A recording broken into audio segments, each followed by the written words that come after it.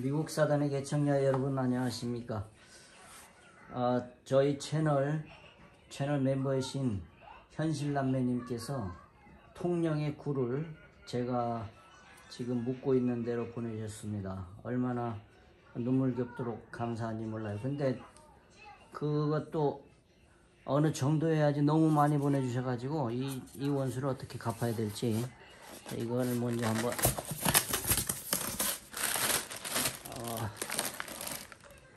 이거는 포장 포장된 물이네요. 생글 생, 생굴 생글 생굴. 대길 수산에서 보내주신 거예요 100% 뭡니까? 거제. 거제도 생굴. 이렇게 이거 하나가 1kg짜리입니다. 세상에. 이거 가격도 만만치 않을 텐데 이런 거를 세 봉지나 보내주셨어요? 이걸 어떻게 다 먹나? 다 먹는 것도 그렇지만 어떻게 이 원수로 갚나? 그 다음에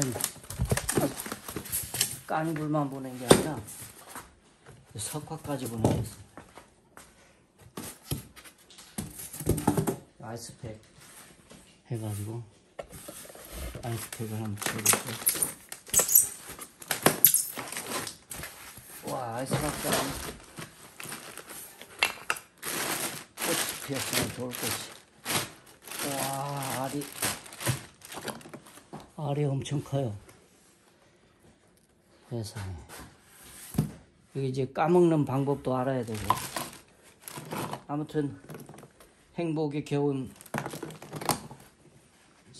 뭐라 그러죠? 불평불만을 하고 있습니다. 아 아무튼 현실남매님 아주 잘 먹겠습니다. 감사합니다